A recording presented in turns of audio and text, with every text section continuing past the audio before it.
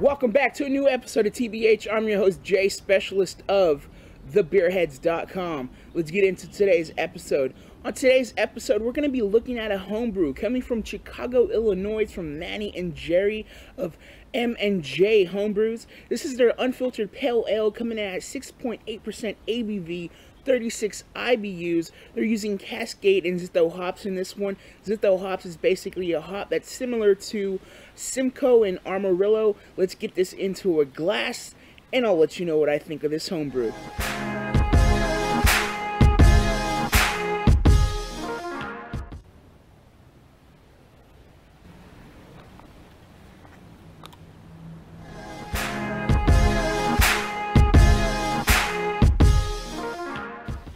Really, really tropical fruit nose aroma in this one. I'm getting a lot of sweetness to this one. Very nice malty aroma. Big, big sweet tropical fruits. Picking up a lot of papaya mango in here. Giving some of that uh, just sweet apricot peach-like juice in here. Big floral notes as well. But very bready and sweet. Very malty, sweet forward nose in this one.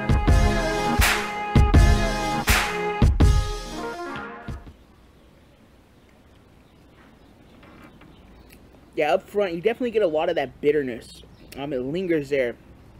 Don't get too much of that tropical fruitness that was picking up in the nose. Um, you definitely get some nice okay malt characters in here.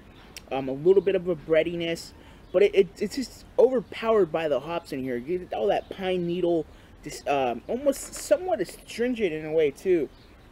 It's a little dry. Um, it's not too dry, which is pretty decent for a pale ale. And the carbonation on this one is nicely done. There's a nice amount of carbonation that cleanses the palate. It's a medium light body. Um, definitely an interesting pale ale, over not over the top like some home brews, but a little bit more up front of that bitterness that lingers there and kind of overpowers the beer.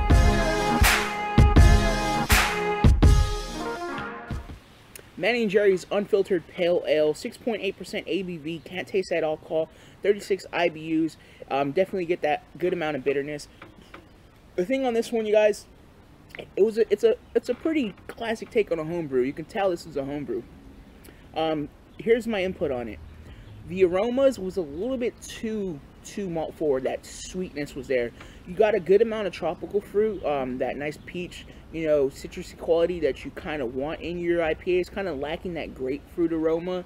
Um, and that pine hop character and floral notes. It was overpowered by a malty sweetness um, and huge sweet tropical fruit characters.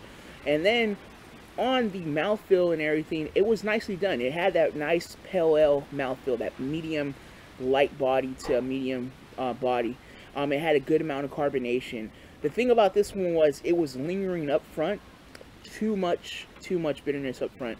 It overpowered the beer. Uh, I couldn't get none of that malt character in the middle. Kind of some breadiness. The finish, it did have a nice dryness, which you kind of want to expect for a pale ale. But overall, it was kind of lacking that nice citrusy um, feel and that malty nice touch that balances out a beer. So it was a little bit too much up front in the uh, front of the palate, you guys. All in all, this is a nice classic take on a homebrew, you guys. You guys did a good job. You know, keep doing it. That's the thing about craft beer. It's fun, and you got to keep pursuing at what you love. Um, if you guys want to send me a homebrew out there, just hit me up on my uh, email. You can get it on our website, www.thebeerheads.com go on our contact uh, info site right there and uh, hit us up. Let us know you want to send us a beer. We'll give you our information. We can do a little bit things over online. Talk about that. Get your homebrew on here to have me review it. Give you a little uh, criticism and basically um, critique your beer from the style, what a pale ale is all about. Other than that, you guys, like I always say, live, learn, and drink. Till the next time, I'm going to enjoy Manny and Gerry's homebrew. You guys should do the same.